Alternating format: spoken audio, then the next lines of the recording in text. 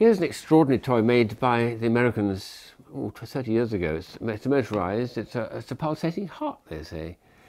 And when you turn the switch on, the heart, it's made of rubber, sort of moves around in a pulsating action across the table. Very bizarre, but let's have a go. Switch it on, and yes, it does move. This is bizarre, isn't it? And it makes quite a noise too. It'll go the other way, I think. A pulsating heart, I suppose it's something I shall wear on my sleeve. Huh. What a monster.